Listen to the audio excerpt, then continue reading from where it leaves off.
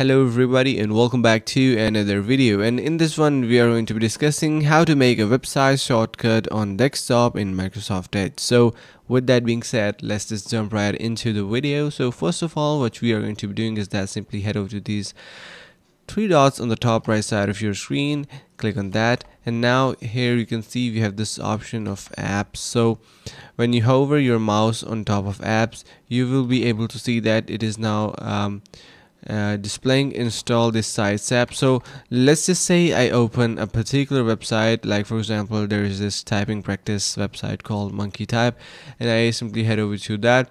Now you will be able to see that when I click on these three dots and after that when I head over to apps it will give me this option to install Monkeytype on my desktop. You can do this or what you can do is that you can simply head over to more tools.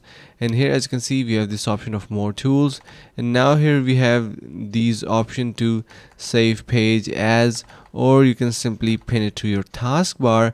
So you will simply have that on your taskbar and you can simply open the website in one click or you can pin it to your start. And from there on you can simply move it to your desktop as well so that's a pretty simple process. And yeah with that being said i really hope you found this video helpful. If you did so make sure to subscribe to the channel like the video and share with your friends.